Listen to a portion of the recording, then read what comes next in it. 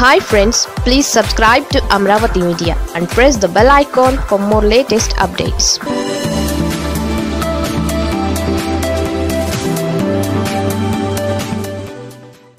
లోకేష్కు CM chance లేదట. పరువు తీసేసిన ఆంధ్రజ్యోతి. భజన గాని కీర్తన గాని డప్పు గాని జాగ్రత్త అవసరం. శృతి తప్పితే ఎదురు తంతుంది.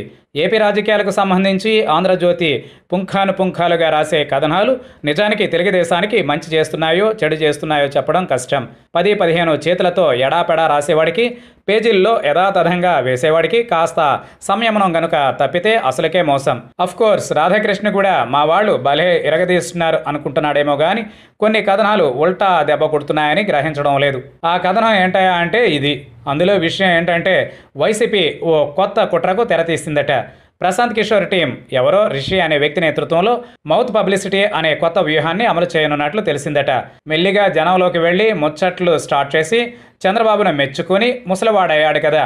ఈసారి గెలిస్తే లోకేష్ సీఎంని చేస్తాడు అనే అనుమాన బీజాలని ఎక్కిస్తారట. దీనికోసం వైసీపీ కార్యకర్తలకు ప్రత్యేక శిక్షణ కూడా ఇస్తారట.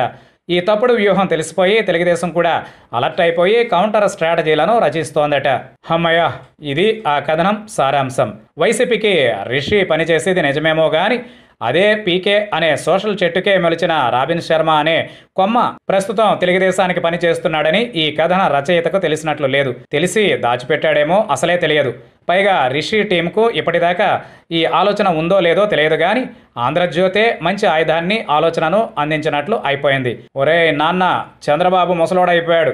వచ్చే ఎన్నికల్లో గనక గెలిపిస్తే లోకేష్ను సీఎంను చేసేస్తాడు. ఇది జనంలోకి తీసుకెళ్తే వైసీపీకి బెటర్ అని చెబుతున్నట్లుగా ఉంది. లోకేష్ను ఓ అసమర్థుడిగా ముద్ర వేస్తున్నట్లుగా ఉంది. ఇది అభ్యంతరకరం.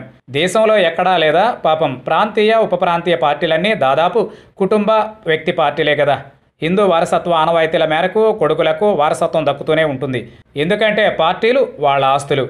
ఎగువన కాశ్మీర్ ఫరూక్ నుంచి దిగువన తమిళనాడు స్టాలిన్ దాకా మగ వారసత్వాలే కదా మరీ మగదిక్కు లేకపోతే ఆడ వారసత్వం. కథన రచయితకు పత్రికకు లోకేష్ పట్ల నిజంగానే దురుద్దేశాలు ఉండకపోవచ్చు. బాస్ కొడుకు మీద ఆ ద్వేషం ఎందుకుంటుందిలే గాని ఈ కథన రచనలో కనబరిచిన అత్యుత్సాహం కాస్త పుసుక్కున చంద్రబాబు లోకేష్ను సీఎంను చేస్తాడో ఏమో.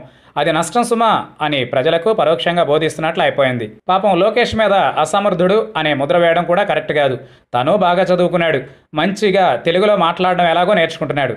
స్థూలకాయని కాస్త కత్తిరించుకుని స్లిమ్గా తయారయ్యాడు. మాటలో పదునొచ్చింది. కానీ వయస్సు అనుభవం తక్కువ కాబట్టి అప్పుడే చంద్రబాబు స్థాయిలో ఆపరేషన్స్ సాధ్యం కాకపోవచ్చుగాక నేర్చుకుంటాడు కదా ఏం? జగన్ పుట్టుకతోనే లేడరా? కాలం నేర్పింది తనకు రాజకీయం ఏంటో.